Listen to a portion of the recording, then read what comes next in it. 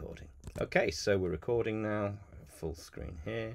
So this is the community call on the 23rd of July. Uh, it's the Three Musketeers present. Um, I'll let you figure out which one's which. Um, uh, and so we have no new announcements. Uh, everybody's been here before, so we don't need to introduce ourselves to each other.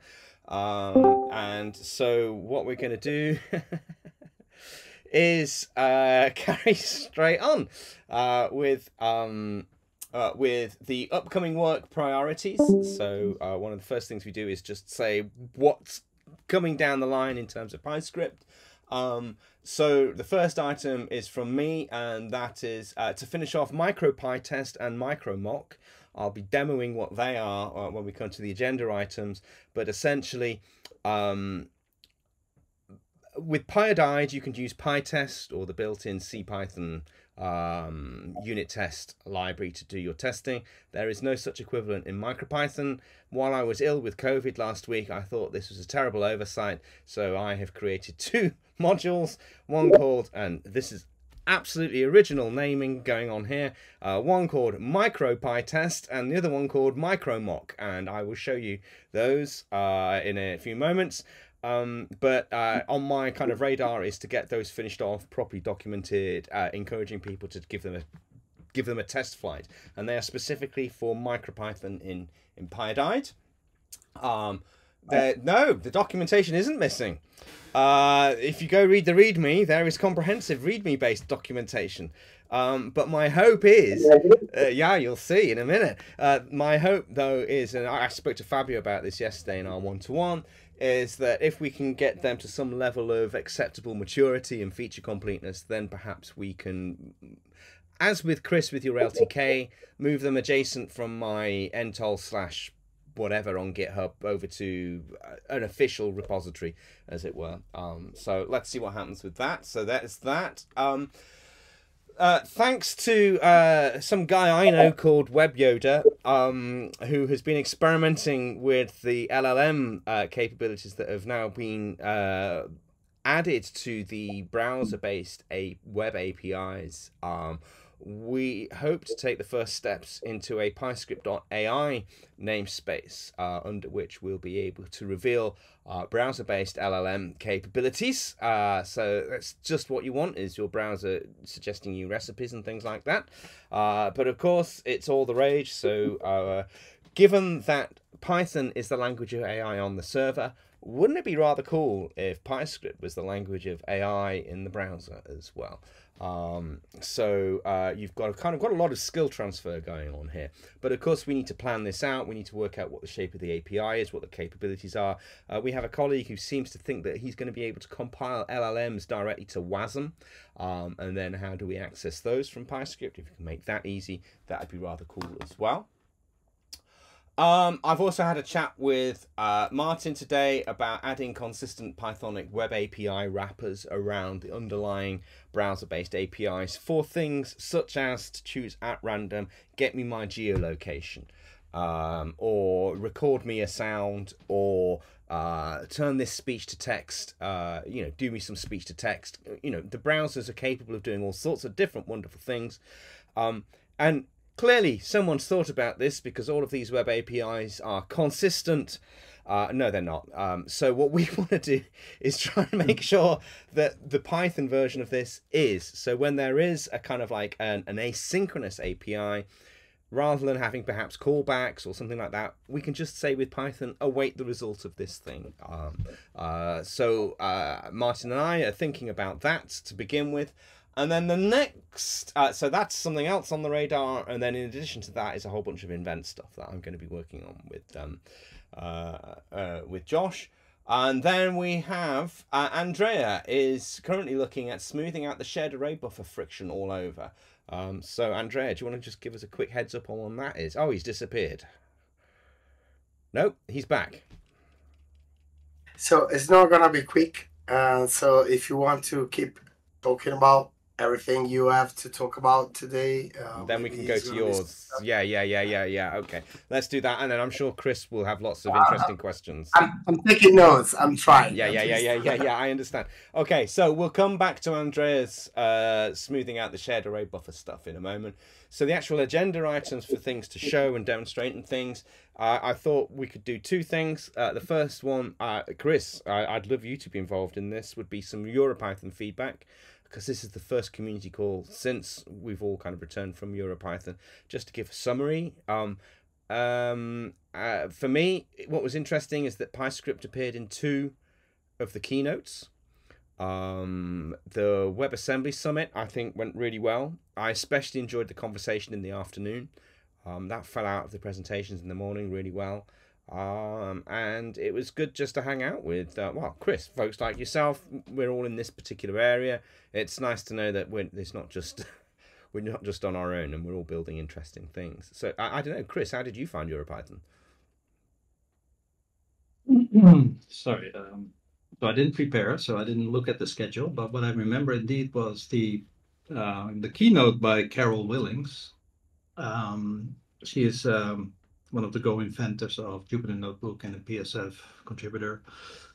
And she gave the keynote, uh, which was very personal. Mm. Uh, and um, yeah, was a that's, that's a nice thing about the Python community, uh, period. But also the EuroPython one. It's um, you feel you feel like they're they're your family when yes. you're there. Yeah. Um, so Carol had uh, a, sort of an impromptu keynote speech where she just rambled on uh, the past of all the things that she ran into, and especially the discussion she had with uh, you and Josh, so Nicholas and Josh, uh, the night before.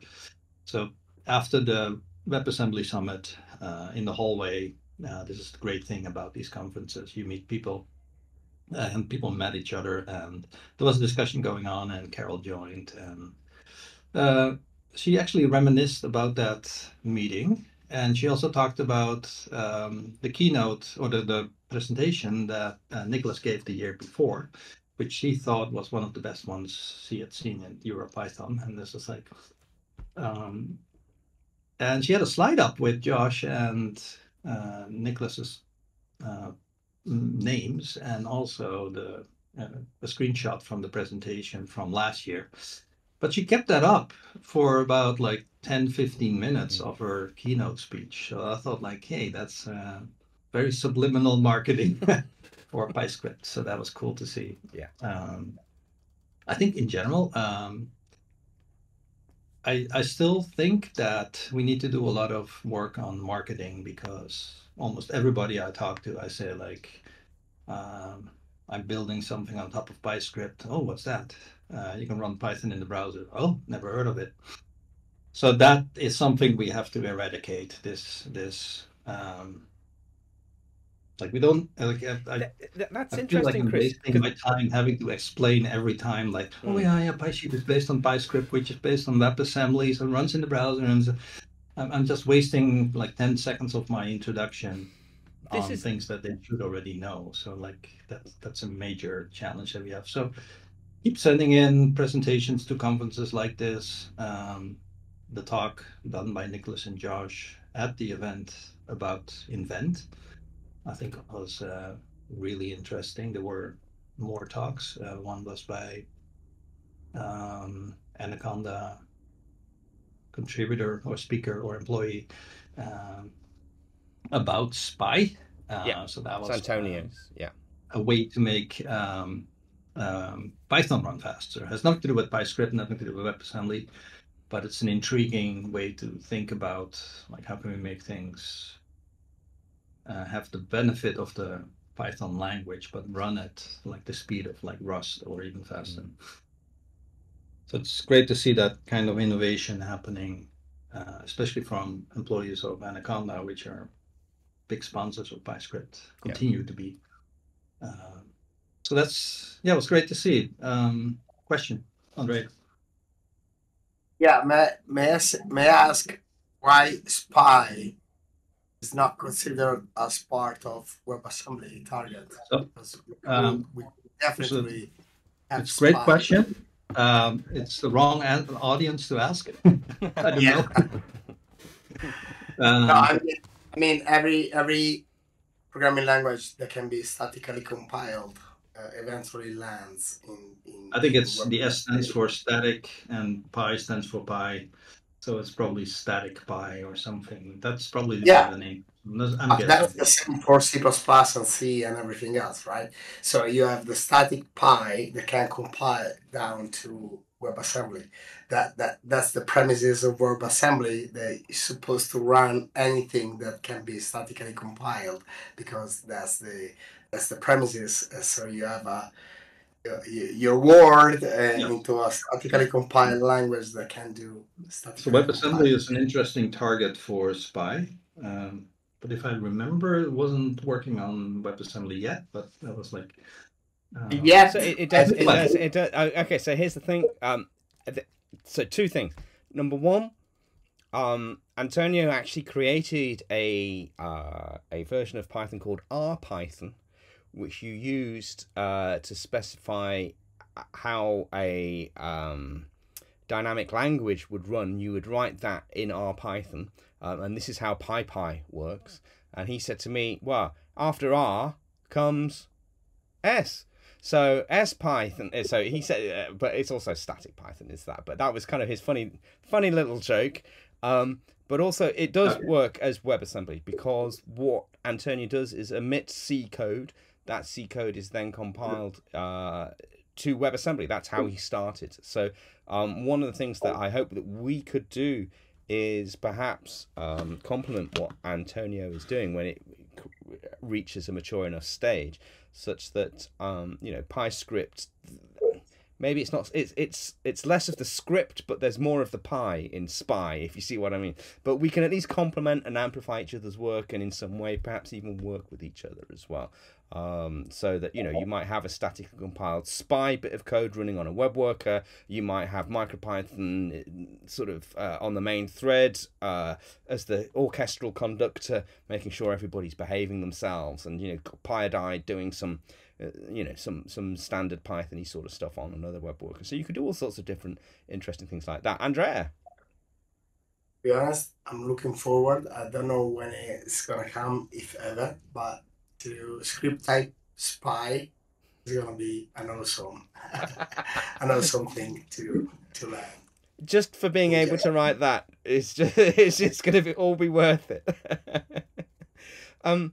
So Um, and another, uh, Yeah. I, I think, uh, Nicholas, any presentation that you're involved in is is by definition fun.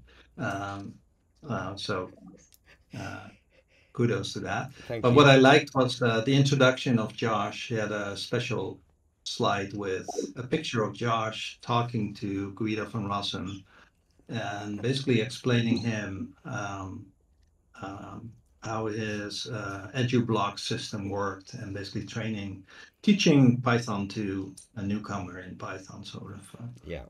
so that became a running joke, sort of like uh, we ask questions of people, like when I give a presentation, we ask them, "Do you have a slide with you and Guido, and what does he think of your project?"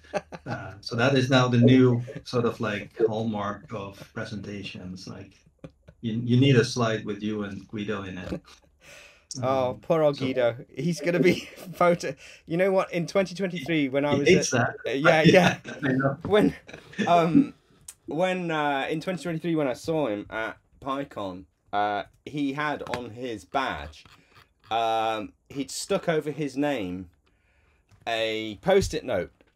So you couldn't see it was Guido van Rossum and on the post-it note it said no selfies. And Yeah. this year I wrote a limerick for him. Uh, and I went out for dinner with Guido and some other people. I read this to Guido, uh, and he kind of went, "Oh God, you've not written me a poem." But this is this is the poem. It's a, it's a, it's a limerick called "No Selfies," and it goes like this: uh, Said Guido, a programmer Dutch, "I really hate selfies as such. I might be your hero, but to me it means zero. Please leave me in peace. Thanks so much." But Guido, you're really a saint. When meeting you, I feel quite faint. I want to shake hands, rise above all the fans, be your best buddy without restraint. Oh God, just please make it stop. These programmers really must drop the deluge of thanks, autographs, and cranks. Else PyCon for me is a flop. And so there we go. That was my kind of poetic contribution to. Uh...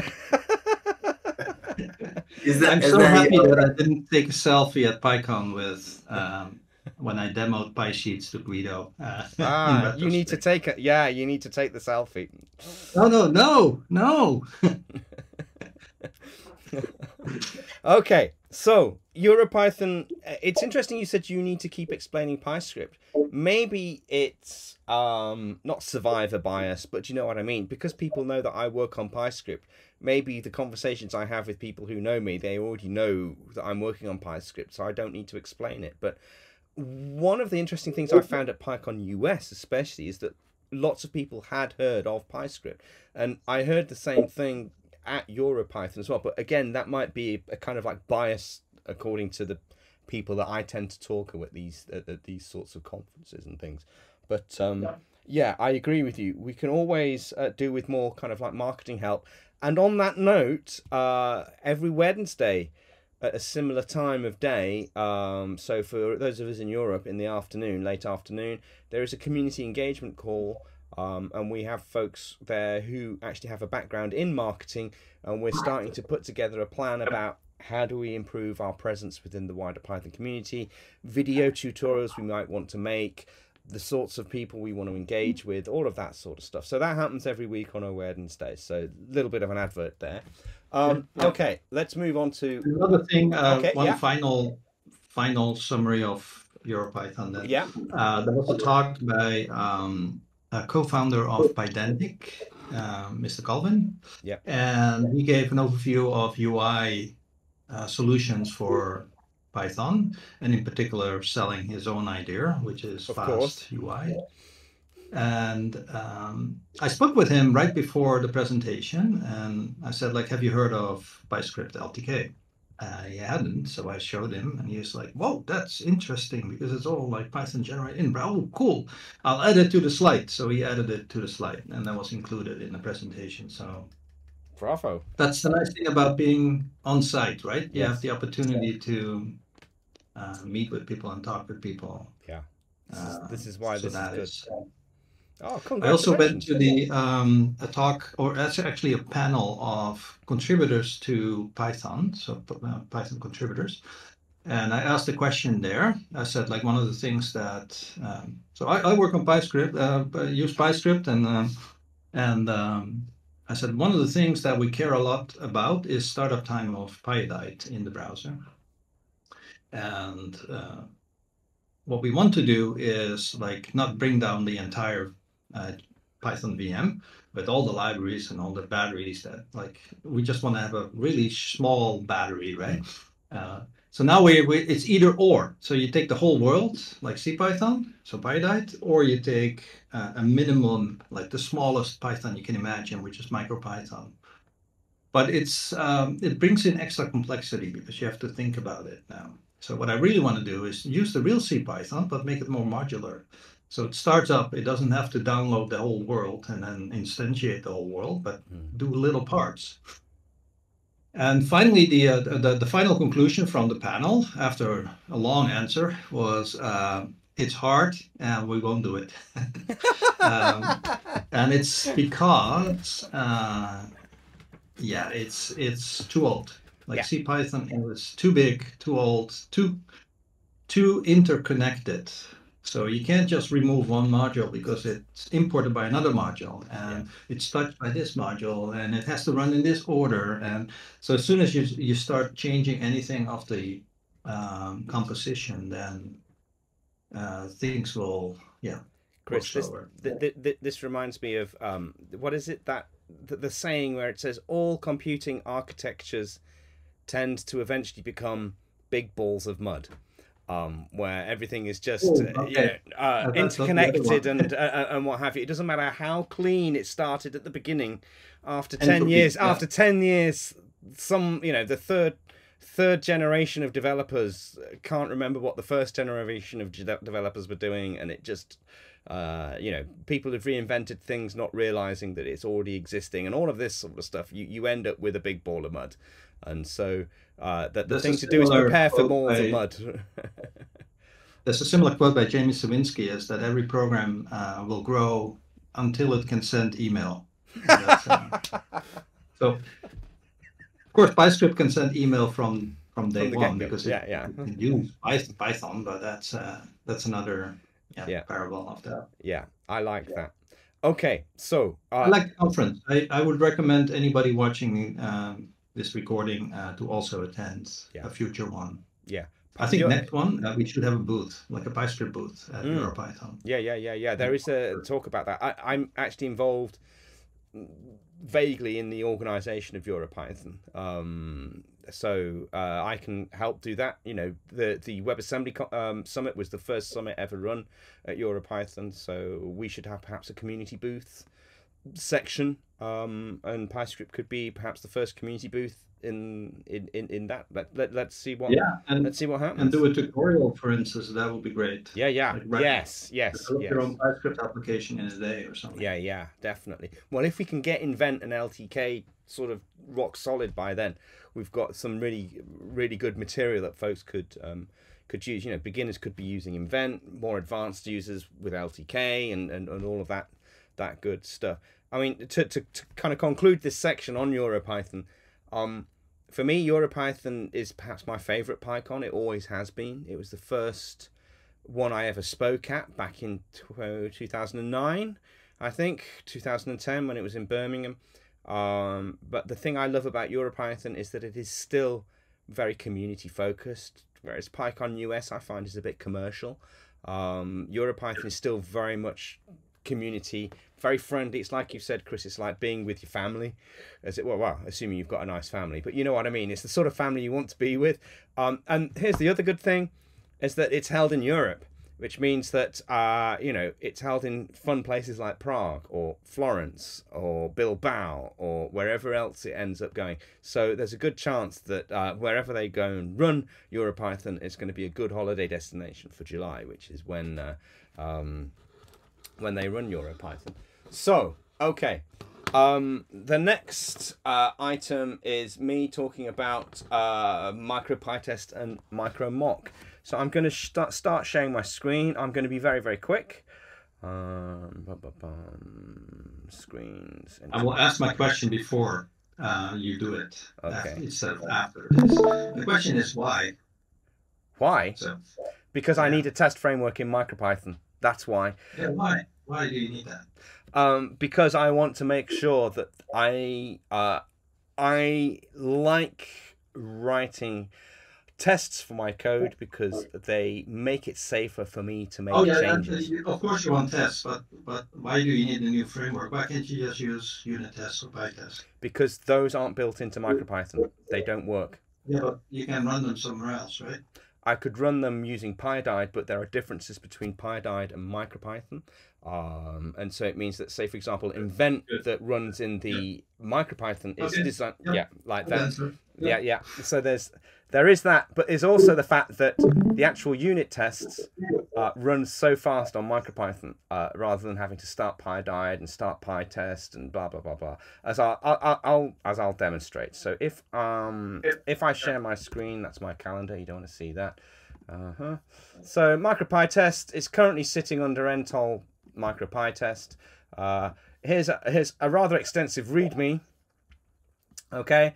Uh, but essentially um, you know you you just await pytest.run a directory in which your tests are um, and you just write them as you would normal tests and you test something you assert it and then you may even give a message at the end as well. There's a skip just like in in regular pytest um, and also a raises um, function um, context uh, handler as well um, for making sure that things happen, uh, that exceptions are raised as they should. This is an example of what it looks like. Um, and uh, that's it. There's not a lot there. If you go and have a look at the code, it's how many lines? 323 lines, but a lot of that has, you know, comments and things like that in it. There's not a lot going on here, but please take a look. Uh, tell me um, uh, if there's anything you spot that's a problem. But essentially, what happens is um, we uh, we discover the tests. Uh, so they sit in test modules, and test modules have test cases, and test cases can be run. Um, and essentially, I'm just iterating over all those things to give us the test results. And that's essentially it. Um, micro So how do you run this? I- I'll show you in a second. Um, Oh, a demo. Cool. yeah, I'll show you in a second. Because the test suite for MicroMock is actually written using MicroPyTest. So MicroMock, uh, we need a mock, uh, or some of the tests might need a mock. What's a mock? Well, um, it, it tells you uh, here. Okay, so mocking in code, a mock is simply something that imitates something else. Okay, and we use it in unit tests when we want to not have to set up a whole database or a this, that, and the other. Uh, and it also mocks um, record how they are being used as well, so that we can uh, inspect um, that. Say, for instance, this thing is being called in the expected sort of a way, as it were. So an a- API endpoint or a database or something like that. So again, a whole bunch of documentation, uh, but essentially you in, in, i- import a mock object. You can uh, tell it that it'll always return a value. Um, you can call the mock object and it will return the value and so on and so forth. And it'll tell us how many times it's been called. It'll even tell us what it's been called with and things like that. And then patching is how you can start to replace things that are currently built into your code with uh, with a mock or something else. Um, so, for instance, we can decorate a test function with a patch decorator, and we can say that this function in this module in this package um, needs to uh, basically be a mock with the return value of 42. So then we can import that. That is now the mock. We can assert that it is uh, the the expected mock object and it actually behaves in the right sort of a way. Alternatively, patch works as a context handler as well uh, and works again in a similar sort of a way. But once you fall out of this function and once you fall out of this particular context, um, the, uh, the the target tests a package, a model, a function returns to being what it should be rather than the mock object. Now, like I said, all the tests uh, were written um, in uh, well let's look at test patch. Um, so import pytest import sys import patch etc um, and so i'm doing a, it, the MicroPyTest discovers uh, the pattern. The default pattern is test underscore something or other. So it will introspect the module, find the test functions, and do all of that. There are also sort of set up and tear down things that you can uh, create as well, should you need to. I'm going to patch a thing, test it. I can assert something, and what have you. What does that look like when you run it? Well, where's my Visual Studio Code? Uh, if I go look at this, um, bum, bum, bum you'll be able to see it. There we go. That's how fast it is when it runs. it's so fast that the two decimal points that I'm using for measuring the amount of time it takes um, aren't enough. Um, so uh, and there's yeah, and that's it. Um, so I, I'm I'm pretty confident that it, it worked that that the mock um, uh, micro mock works well because it's passing all its tests. So that's uh, that's basically it. Uh, let me stop my sharing. Um, are there any questions? There are. Andrea, go for it. This is awesome, and I wonder if it works with Pyodide too, because might make even test with uh, either MicroPython or Pyodide. Uh, You can switch between the two of them. Yeah, yeah, yeah, yeah. uh, switch between the two of them, and I don't I don't see why this should be confined to the MicroPython world. Um, this can be like like you say, right? It's just I want to assert stuff works, and uh, and that's it. Um, So the, the- the- yeah, yeah. I, no, I've not. I've not tried, but it's something that I do want to do. The um the way MicroPython imports and where it puts its modules is a kind of an implementation detail. So I might need to uh, put a conditional there depending on which runtime we're in. Uh, but I'm I would say I'm 90% confident that it won't take long to make it work for both because it is just vanilla Python. Um, there's nothing particularly magic happening under the hood. Um, So um, yeah, uh, and and what was what's interesting, and this is what I, this is one of the reasons why I love being a software engineer is the hmm, not aesthetic aspects of things, but you want to create a nice API and unit test mock and PyTest, both of these APIs, they are massive. Okay, they are huge. Uh, PyTest has a lot of dynamic stuff that goes on, lots of really funky features, but actually, 99.9% of the time, I just want to assert that foo equals bar when I've called baz or something like that. And so to look at what the PyTest API is and then to kind of put it on a diet and shrink it down to what are the core things that people want and how can I implement that in as simple and a kind of expressive way as possible is a really fun thing fun thing to do. Same with mock as well. Mock has lots of kind of edge cases. Um, I'm not interested in those edge cases, um, really. But Andrea, sorry, you've got your hand up. I noticed. Yeah, I, I think we currently are running in a world where MicroPython and Pyodide can be together on the same page. Yeah. And having a test, testing framework that just care about nitty gritty and nothing else um, seems like a useful thing to have. Yeah. So uh, I, re- I really love this project. And, and, and I've done myself, uh, I tried myself to to push for easy, easier ways to test yeah. JavaScript thing on the web, on the DOM, and on the server before. Um, but I think if we can have a feature parity uh, between MicroPython and Pyodide in terms of expectations, that would be awesome. And uh, hopefully, it shouldn't be too hard. On I, I don't think it will be. Don't think it will be. Chris. I have a few Yes. questions and comments, but first I have a story. Um, so, uh, unit test, PyTest started with JUnit. Uh, Yeah. it's all inspired by JUnit. And I know the the creators of JUnit pretty well. And the story is as follows. So Erich Gamma and Kent Beck, they were on a flight between New York and uh, San Francisco, I believe. Anyway, it was across the U.S. and they sat down on the plane and they said like, so what do we do during this flight? And he said, well, let's solve a problem. And Eric said like, one of the problems we have is that we're writing a lot of Java code for Eclipse and we have no way of testing it. So let's write a test framework. And they wrote it on the plane, uh, JUnit, the first version. So their first version was very reminiscent of yours. Mm. Like it was like tiny. It was like essential, like like the, the basic functions. But with success comes uh, I don't know, obesity. so um, micro micro mock and micro test will at some point become really big uh, because people will want to have well i want to assert equals but also uh, in and i want to do almost equals and, and and so on so on so on so Yeah. it will be inevitable that uh, you will be at least 10 times as big next year You you've Uh, you you've brought up a really good point, which I wanted to make, which is that this is Yeah. definitely early days. What you've just seen is code written while I had COVID as well, which is probably not good code. Um, Yeah. So uh, you no, know, this is really cool. I, I I'm actually inspired because I'm going to try it out. Uh, because the way I do testing for PySheets is uh, I use uh, the built-in unit test that comes with uh, yeah CPython, so a VS Code uh, test runner.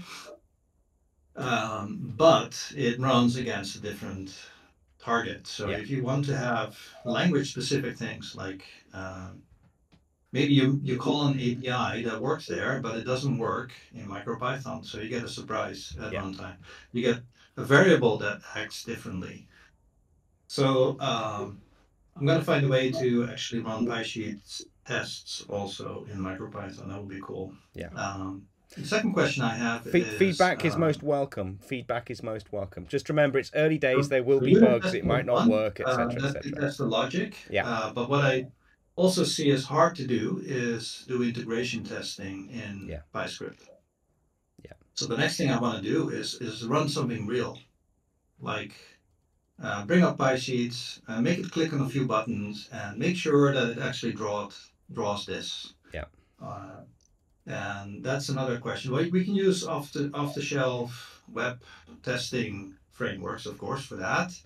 But often you want to poke inside the application a bit Mm. and see like what is the state of the program. Does it actually Yeah. uh, create a database connection as well and those kinds of things. Yeah. So that's the unit testing you want to do. Um, Yeah. Question, Andrea. Oh, sorry. Uh, you have a question? You have your hand up? So we we do test stuff out of play, playwright, Yeah. but it can be any any browser. Uh, uh, uh, uh, that- that- on top of my mind, that there are so many things that are running on browsers. But playwright is Yeah, yeah. an easy peasy thing to use because you just But, but it's the uh, in integration test. You also want to test like like what I said. Uh, so, for instance, when you have uh, in PySheets, I create something and then I want to make sure that it ran. Um, so it ran Yeah. this, and, and then I want to make sure that it actually saved in the database. So that kind So kind you of want to be sure it runs, and then you want to be sure Yeah. It visualizes whatever it is. Yeah. So we're doing this with Playwright right now. I'm not suggesting Playwright is the best solution, but any any automation that runs a real browser out there is a good solution to. I, Um, yeah, I can imagine that uh, Nicholas next weekend you can write um, a DOM mocker, so that we can basically Yeah, load but our the DOM, You know, and then I'm- I'm sure- ask hey, like, here's the thing. uh, It's probably already been done with JavaScript, in which case we can use Yeah. PyScript already yeah, because yeah, you PyScript. can just group yeah. them, like, you Yeah, yeah, yeah, yeah, Okay, yeah. good. Yeah. Nice. Yeah, Uh, Andrea. next question. Andrea. Oh, So the DOM mocker is not gonna give you what what the real browser is gonna give you. So be sure you are just not a DOM mocker for that.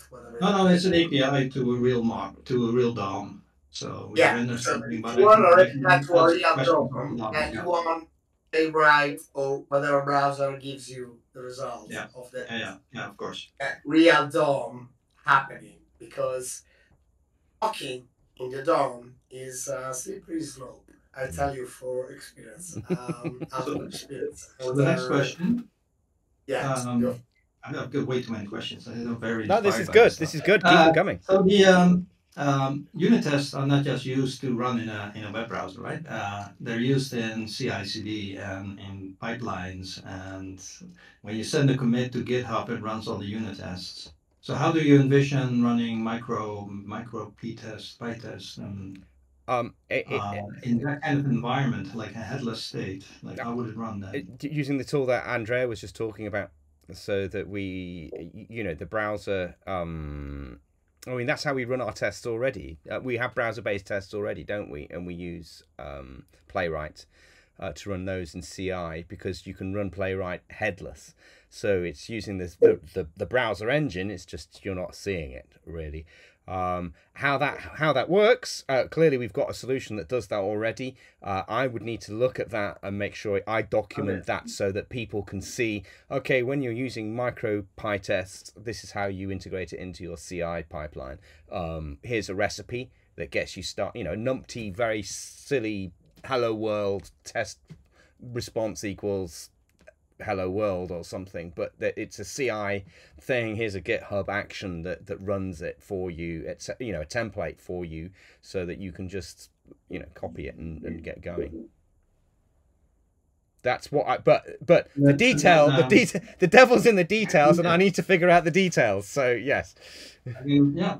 So that would be really cool. Uh, if you can do a GitHub action and then run the Yeah. MicroPython tests Yeah. on a real Python MicroPython platform in addition to the C Python ones that I have. Yeah. Um, so I guess, um, yeah. I had another question, but now I forgot it.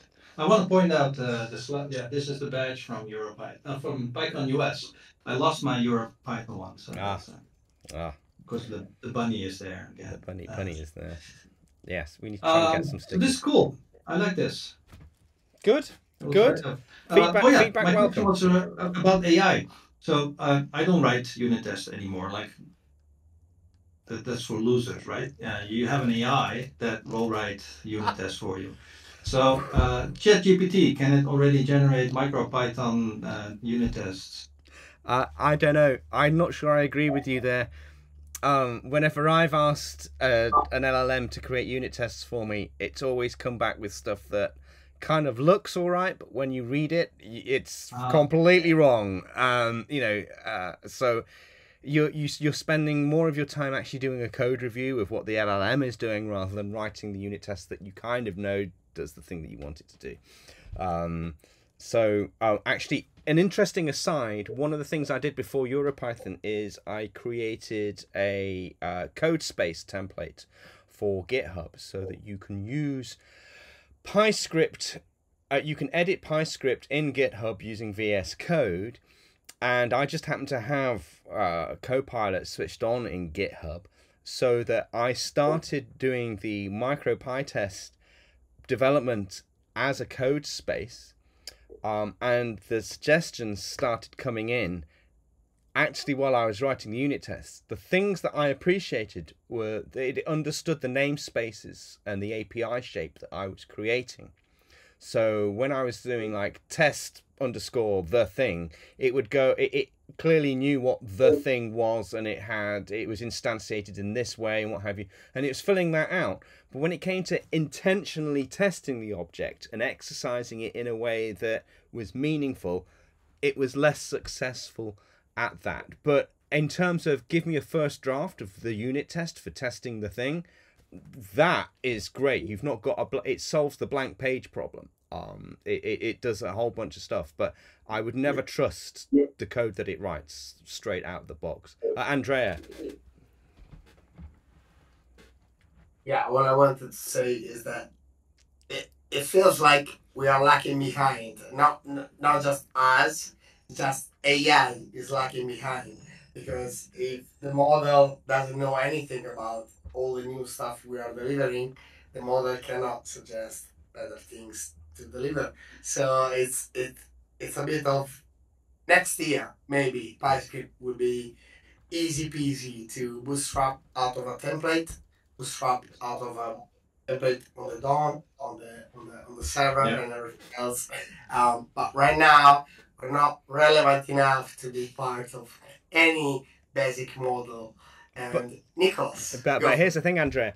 If we manage to do our PyScript.ai, wouldn't it be wonderful if the one of the examples that we provided as a compiled WASM-based LLM was for a uh, PyScript bot that understood our APIs, MicroPython, our um, idiomatic way of writing Python for the browser, because we are discovering, for instance, you use MicroPython on the mm. main thread, you coordinate that with Pyodide on a worker, blah, blah, blah, blah, blah, blah. So that kind of contextual awareness is built into the LLM. And when somebody types, you know, give me some code to do a blah, or they're, they're writing their triple quoted, you know, this module does blah, you know, the, the LLM produces the right thing for me immediately. Um, that- that will happen. That will happen automatically as soon as we write enough code on GitHub that Yeah. has PyScript. It will become a concept that is Yeah. that it becomes aware of if Yeah. it has enough training data. So all we need to do is write enough training data and put it on GitHub, and then next year all these LLMs will know about PyScript. yeah, Yeah. absolutely. Yeah. definitely. we pay them, and somebody has to pay them. I. So But yeah, Okay. that's much more as well. But uh, I'm I'm looking Yeah, at the time. like uh, a MicroPython based or a Pyodide based LLM that I can access from PySheets, for instance, to do data science related Yeah. analysis, like turn these numbers into a data sheet, uh, uh, a data frame, filter the data frame, convert it, generate a picture from it. Yeah. No, not using this, using Seaborn. Uh, all the, all these kind of questions that people have, and um, and do that without needing a server. I think that domain is so limited that the data science domain. Yeah. Uh, you could train a model and have a really small, small distribution, like a couple megabytes should Yeah. be enough. Yeah, it, it's it- it's going to be an exciting few months. Well, this time last year, we couldn't have imagined where we are here with PyScript right now. You know, this time next year, I hope we're able to say the same thing because of the capabilities that we've been able to build in, you know, all of the things that we've been talking about, the potential for AI. I'm looking at the time now, I'm sorry for being a bit sort of uh, chairpersonish here. Um, but we've got 10 minutes left, and Andrea has this amazing thing that he wants to show us. But this has been, you know, fascinating conversation, and we, we must keep Yes. having these sorts of conversations as well. But Andrea, you said that uh, you wanted to show us smoothing the shared array buffer friction. So um, Yeah, the floor is yours, matey. Yeah, I don't have enough time to show entirely all the great things, but I wear a shirt that doesn't doesn't feel good right now. sure, sure feel good, so you can you can understand where I come from. Anyway, so um, the thing is, the most, the biggest friction we had around, or the biggest complaints we we, we had, or people lost, basically people lost, just developer lost. Um, our offer is shared buffer. Uh, what that does that error mean? What why that error exists in the first place? And what can people do to solve it? And um, and this has been like a nightmare, a recurring nightmare for me. Uh, ultimately, because I proposed the shared data buffer solution in the first place. So it was like, okay, with shared data buffer, we can have uh, window.document.body.text content equal something, and that works. And that's the only way you can do that on the DOM, on the on, on the web. And and at the same time, I was like, okay, to do that, you need to enable this, this, this, this, this, this, this, this, and that. Um, and I took for granted that that was the main use case for um, having uh, Python in a worker. But actually, the truth is that Python in a worker can do a lot of stuff without even needing access to the window document window.document.body. everything else. And that was thanks to Martin that brought that to my attention and it was like, Martin, what are you gonna do with the worker? And it's like, yeah, you know, uh, stuff that doesn't block the main thread. And I was like, aha, that actually makes sense. So, long story short, and maybe I can share my screen. Um, long story short, uh, can you see my whole screen? please? Yeah. We can see it. Yes. So, long story short, I changed the underlying library is actually allowing the window.document.body.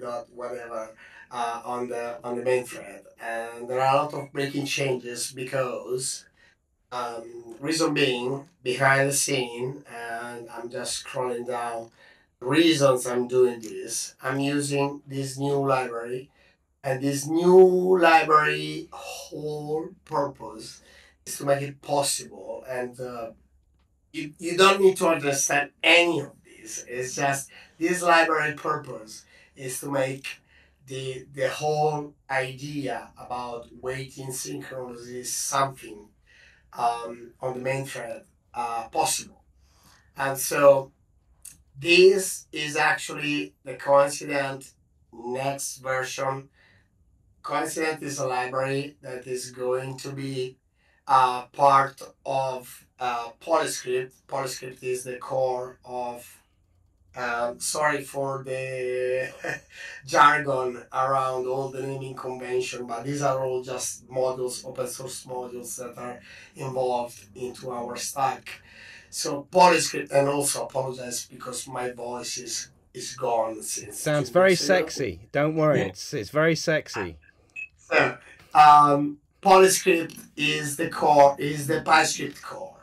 Polyscript is the is the module that enables all the interpreters we we use and enjoy in PyScript, like MicroPython and Pyodide. It could allow more, but right now on PyScript we are focused obviously on Python related modules. Um, this is a, an example of what this new way of um, interacting with the with the world would be. So you see a lot of minus, minus, minus, minus, minus, minus. So there's no need anymore to even check for uh, data buffer or anything like that. It, it just keeps going. And if you want to trust and use data buffer, this is gonna work. Um, because we are we are short on time.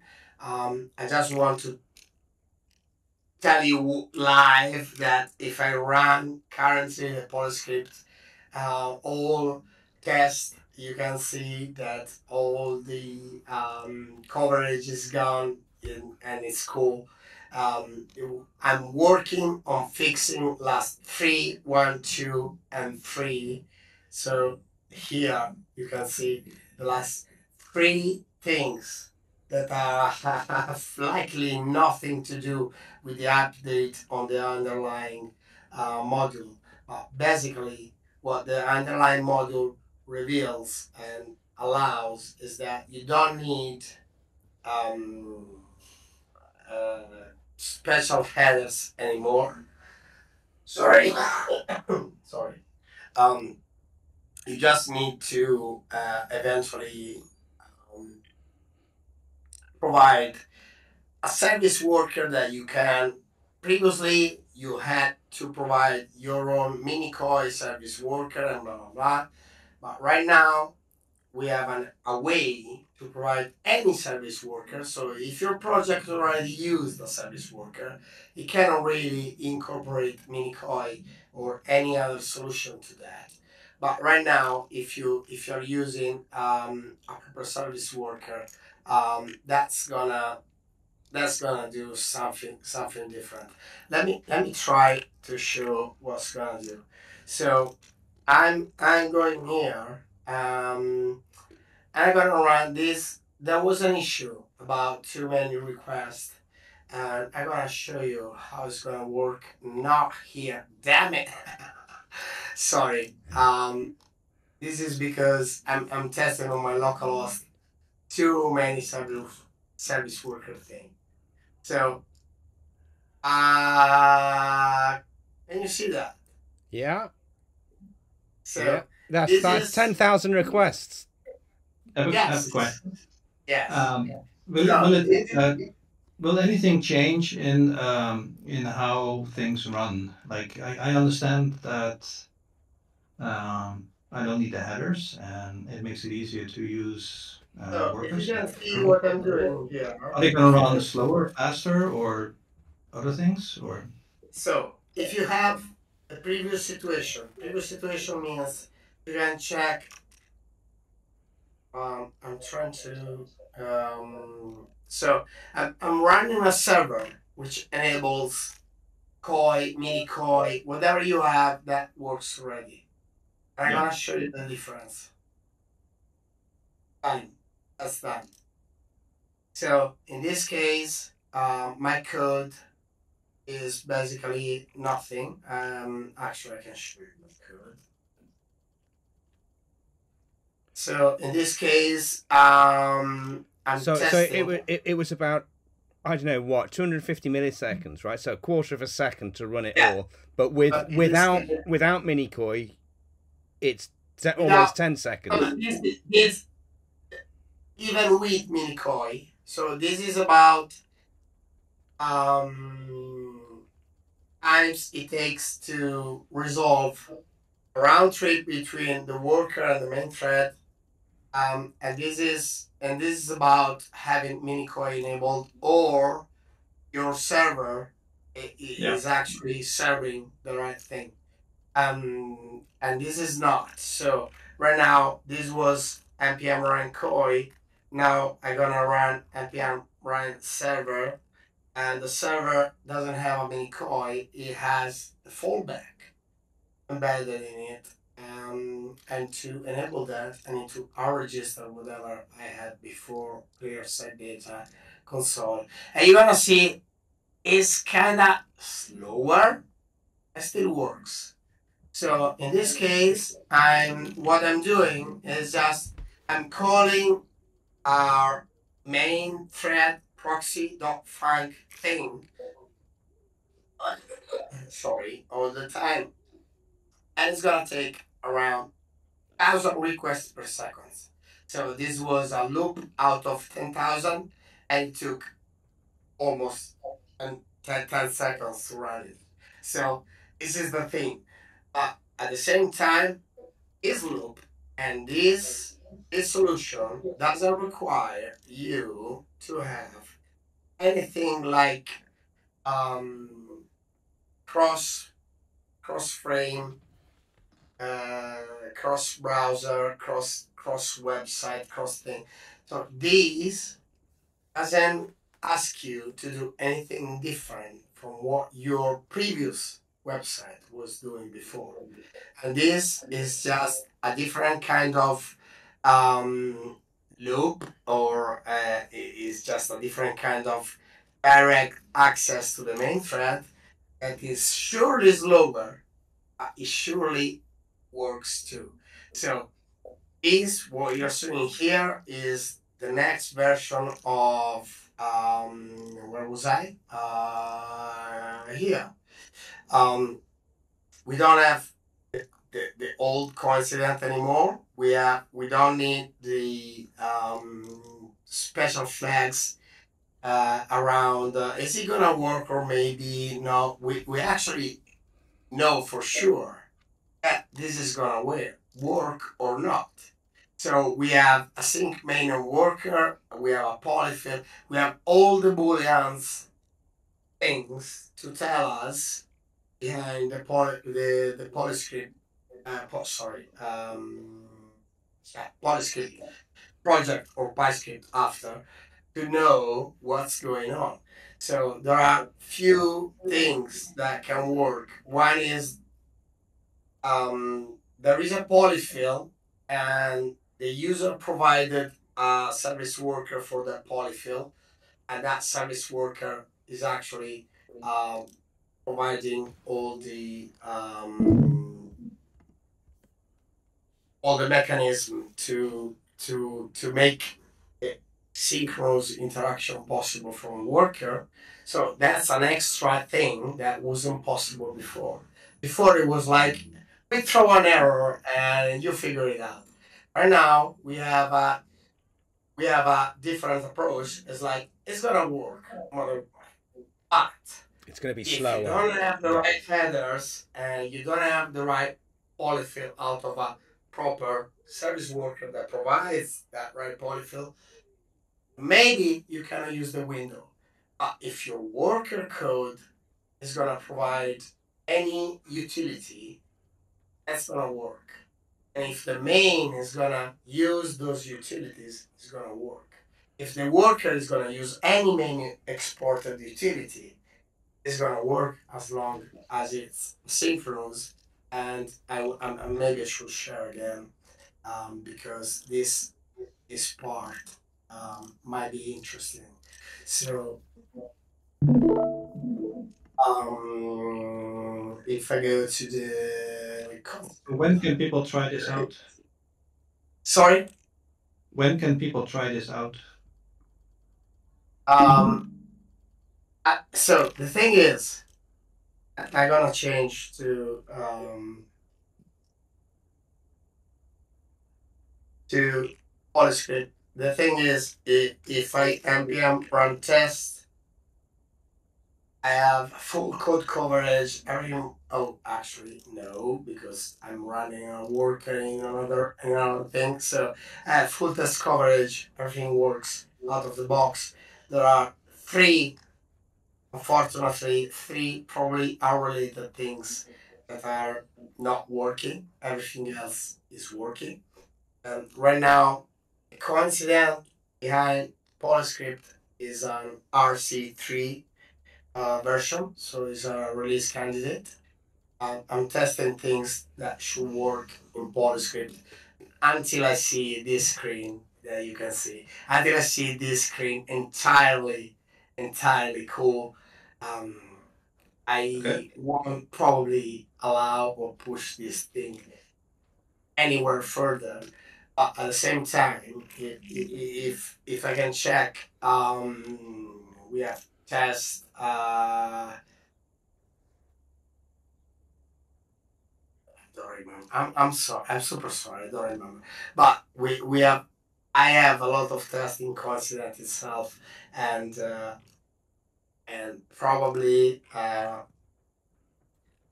npm run server. So if if I do this, and you see my screen, um, let me refresh this. So uh, I want to remove anything that that like no service worker, no nothing. I want to be sure that this thing is not working. So we have a no uh, shared buffer or service worker. This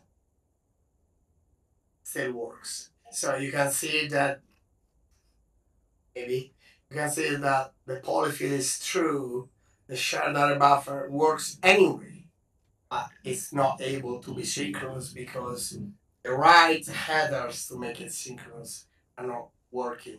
So this, what you're seeing here, is in uh, is this is this thing. So I'm I'm I'm just I'm just logging polyfill sync, and I'm providing some function to the main thread. So I have this proxy where I can say, hey, proxy.sum is going to do something great for the main thread. And here I am working in invoking main. I'm awaiting the main proxy href.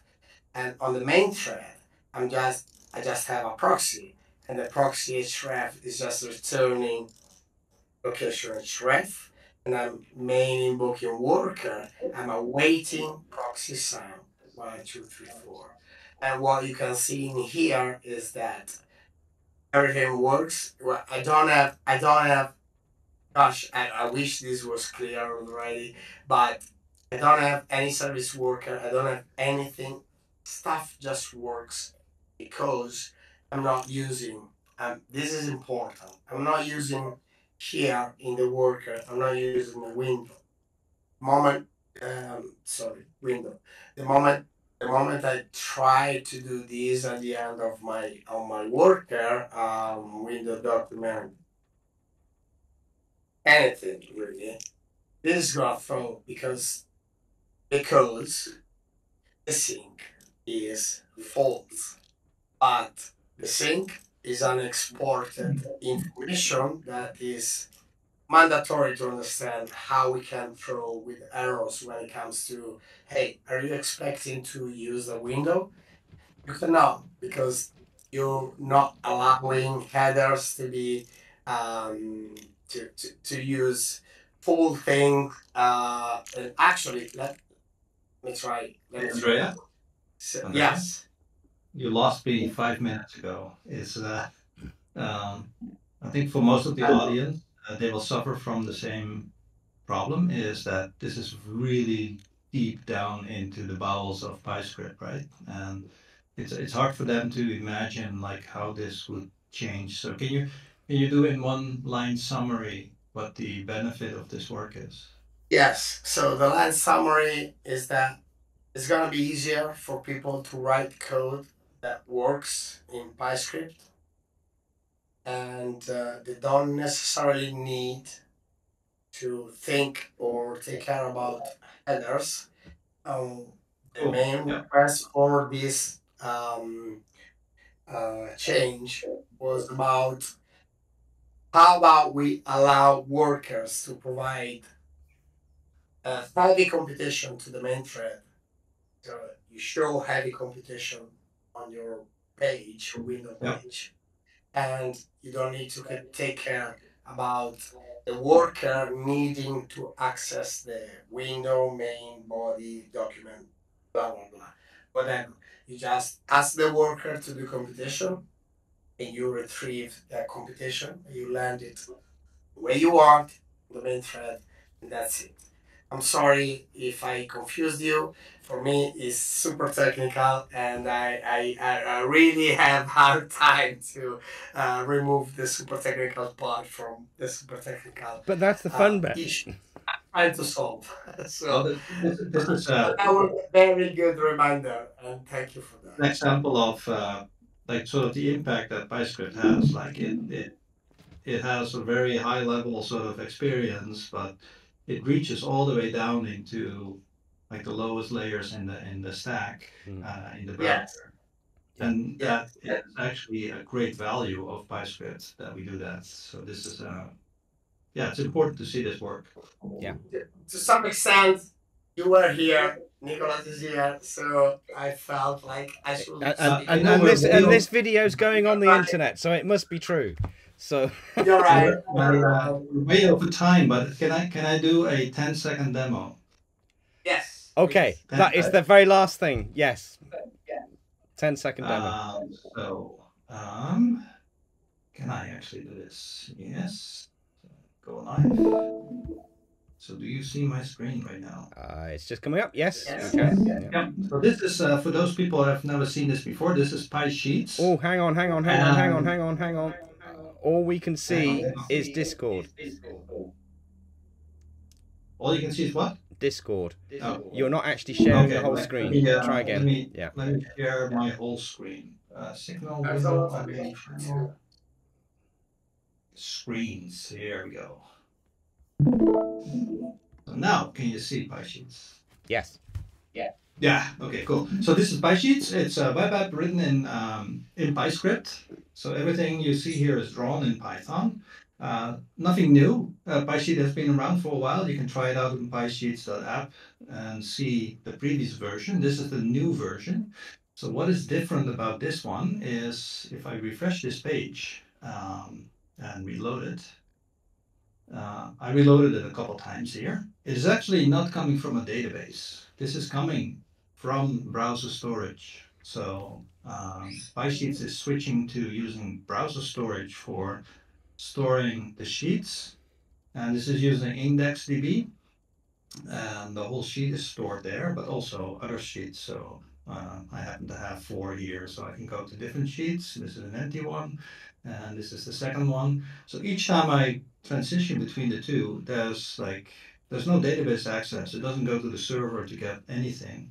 This is all from within the browser itself. So this is all running Python code in the browser. It's running all the data science parts. So creating a data frame, this this code here, uh, creating the matplotlib. This is all running in a worker, and all the data is stored in the browser as well. So I think this is um, worthy enough of a like and a share.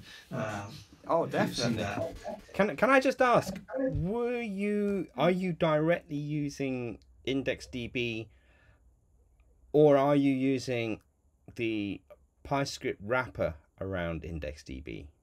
PyScript Is there one? There is one. Oh man, I just wrote one. No, PyScript storage. Hmm. PyScript storage is what you're at. go go look at the docs. PyScript storage.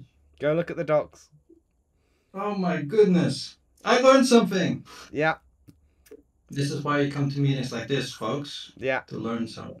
But it proves Ah. that great minds think alike, or fools seldom differ. That's the important thing. We're we're, we're doing the same thing. Uh, Andre, you Oh. have your hand up. Yeah, but PyScript storage is a key value pair, and you can, as for any key, you can store anything you're storing uh, that's compatible with IndexedDB already. So I love it. I'm gonna switch. yeah, have a look. Uh, it's already there. Um, it actually Um, works. So then uh, the final uh, uh, statement is not a demo anymore. Uh, so I'll stop sharing. Um, is that I will open source PySheets as well. So that will uh, probably happen next week. Uh, Wow, Chris, that's that's amazing. I, can I ask? I have a favor to ask of you. Uh, can you kind of like do talks about PySheets, your experience, you know, at, at conferences? Um, you know, submit submit this for PyCon next year. Um, I, I submitted it to four or five different conferences and nobody is biting so far because um, there's not enough AI in it. So I need to. So this is why we need the Sprinkle the AI PyScript, somewhere in there. PyScript.ai dot something or other. This is it's Oh, on the roadmap. It's on the roadmap. It's on the roadmap. It's coming. It's Yeah. coming. Okay, I'm I, again sorry for being chairpersonish, but we've been here sort of an hour and ten minutes now, so um recording. So uh I'll, I'll this has been a fantastic call. Uh, so much good toing and froing and discussion and about all sorts of from the community to the highly technical it's all been in a part a part of this. So um thank you very much for contributing. I'm going to stop the video in a second and then i'll upload this to youtube and make sure that folks on discord get get the link when youtube gives that to me. So Everybody, thank you for watching. yeah. If you're